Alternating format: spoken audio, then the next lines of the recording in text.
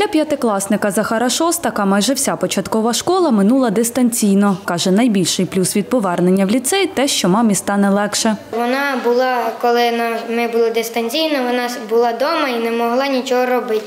А так уже моя мама пішла на роботу, е, менший брат в садочок, е, Назар середній пішов в перший клас, а я в п'ятий.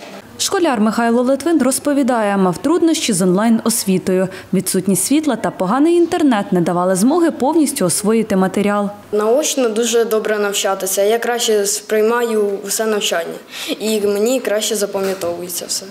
Так велелюдно в цьому ліцеї не було останні три роки, пригадує вчителька фізики Тетяна Салюк. Каже, й досі незвично бачити учнів біля дошки. І тепер нам треба все те поділити на 0,144 тисячних. Це живе спілкування з дітьми. От це я вже бачу по очах. Якщо дитина якась щось не зрозуміла, я вже бачу, як вона сидить, як вона от реагує на мої слова. Для Каріни Шевченко це останній рік в школі. Говорить, вже почала підготовку до мультипредметного тесту та впевнена, що з вчителями в ліцеї вона буде значно кращою. З деякими предметами окремі ті, що потрібні для вступу, працюю і вдома. А вчителі відразу питають, хто буде здавати, хто планує здавати предмет, щоб приділити більше уваги на цей. Повернути дітей за парти після трирічного навчання онлайн вдалося завдяки модульному укриттю, розповідає директорка Галина Кубар. Каже, обрали саме такий варіант, бо він удвічі дешевший за підземне, та й побудувати інше не було змоги. Усе через близький рівень підземних вод.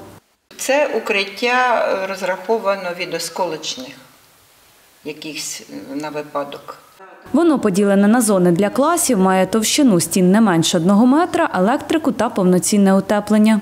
Всі стіни і підлога утеплені. Якщо це буде взимку е, на випадок тривоги, то в нас є обігрівачі, чотири обігрівачі.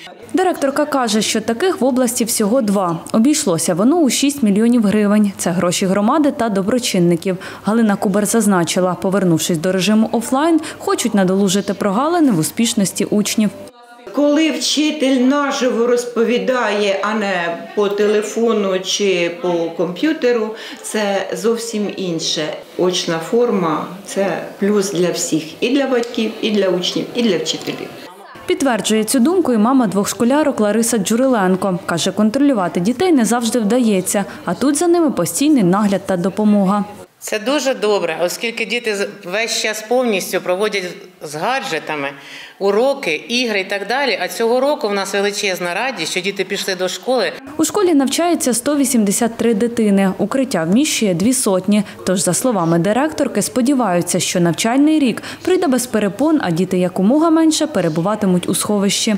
Дар'я Шевченко, Максим Шевченко, Суспільне новини, Черкаси.